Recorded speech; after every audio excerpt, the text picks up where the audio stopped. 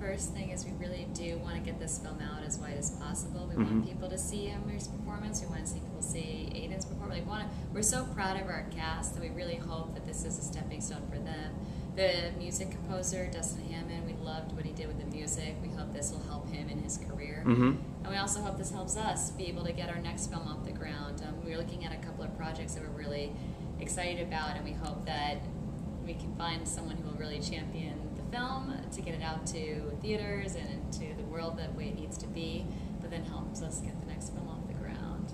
Yeah, I mean, I think a lot of people involved in it are kind of uh, on that verge of breaking out. Hopefully, You get a Like, sense, yeah. People like Callan and Emory that are in these, or in Zoe and Sarah, all the They're on the the cuffs, yeah. Zoe's in another uh, coming of age ager type film. I saw her in and, uh, and then like Dustin, film. Yeah. our composer is this, you know, musician that we love that hasn't really broken out big. That we hope the movie helps, and and then for us to, as our first narrative feature, we hope it's just a stepping stone too. That we're able to do something else with more great actors and a little bit bigger and.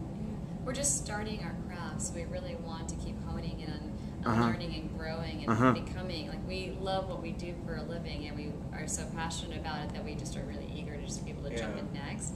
And we don't want to feel like we have to really struggle to get there in terms of like starting from day one again. But we really want to be able to find maybe a supporter who can help champion Mhm. us. And, I Supporter. think we kind of discovered our process a little on this, and it's fun to think about on the next project how we can hone that process of that exploration we really like to do, and just trying to find like that root of truth in So the you're, scene. so you're staying hungry.